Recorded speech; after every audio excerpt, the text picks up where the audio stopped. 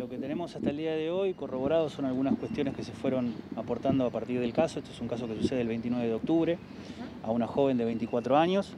Eh, las imágenes que dimos a conocer en el día de hoy eh, por parte de Fiscalía tienden a que alguna persona que pueda reconocer a este individuo que llega aproximadamente a las 4 de la mañana a un, edificio de zona de calle Castellanos al 400, trepa por eh, la parte delantera del edificio hasta un tercer piso, ingresando al balcón del monoambiente donde estaba esta, esta joven, que estaba durmiendo claramente, y la, bueno, la mañata y la abusa reiteradamente hasta aproximadamente pasadas las 8 de la mañana que se retira del edificio por la puerta principal. Eh, la joven hace la denuncia, obviamente en ese momento interviene la fiscal Nora Marul de la Unidad de Delitos contra la Integridad Sexual y comienzan una multiplicidad de medidas conjuntamente con la Comisaría de la Mujer para bueno, corroborar lo que había sucedido e identificar a esta persona. Si bien hay medidas que están en curso, entendemos que es importante que cualquier persona que pueda aportar algún dato a la Fiscalía para acelerar la identificación de este individuo, eh, obviamente será recibido y se mantendrá eh, la reserva del caso. ¿Se ha podido cotejar justamente la imagen de esta persona que aparece en el video con alguien que a lo mejor pueda tener antecedentes?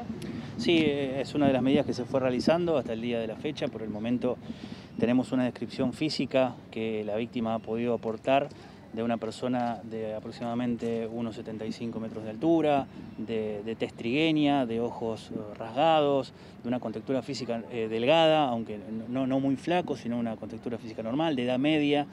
Bueno, y también la descripción de la ropa que ustedes pueden observar en el video.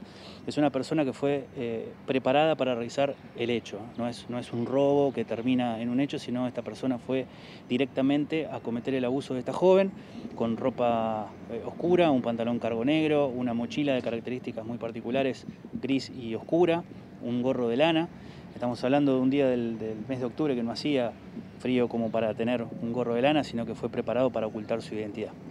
Bueno, eso lo quiero destacar porque realmente los vecinos del barrio han colaborado muchísimo con, la investigación, eh, primero aportando cámaras de seguridad y también eh, tratando de recabar algún dato eh, entre ellos mismos, eh, por el grupo de WhatsApp del barrio, si alguien había visto algo o si tenía una persona de similares características o algún hecho similar que haya sucedido. Todos los datos que fueron aportando aún hoy eh, son evaluados y valorados por la Fiscalía. Al momento, bueno, hay algunas cuestiones que, que mantenemos en reserva, se han hecho algunas medidas que han dado resultado negativo en el día de hoy, pero bueno, se espera que prontamente se pueda dar con esta persona.